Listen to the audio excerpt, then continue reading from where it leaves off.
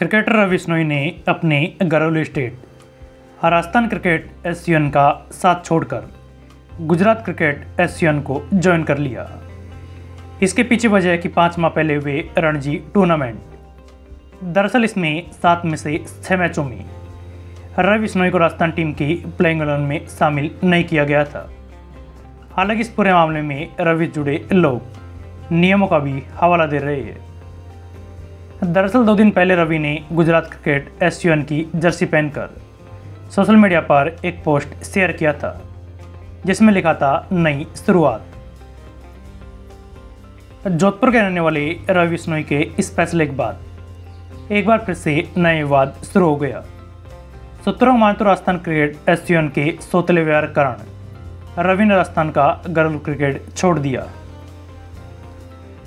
दरअसल राजस्थान के रणजी मैचों में सात में से रवि को सिर्फ़ एक मैच में मौका दिया गया और इनमें भी कुछ ही ओवर दिए गए। लास्ट मैच में रवि जैसा स्पिनर होने के बावजूद टीम के बाहर से स्पिनर को बुलाकर मैदान में उतारा गया। सूत्रों से मिली जानकारी के अनुसार यह भी सामने आया कि मैनेजर पर रवि को पहले ही बाहर का टीम बनाने का दबाव भी बनाया जाता था। इन सभ्य हाथ होकर रवि ने स्टेट ही बदल लिया। वही बता दें इससे पहले अंडर 19 विश्व कप 2020 में। सबसे अधिक विकेट लेकर रवि बिश्नोई ने सभी का ध्यान अपनी तरफ़ आकर्षित किया था। और इसके बाद से रवि ने पीछे मुड़कर नहीं देखा।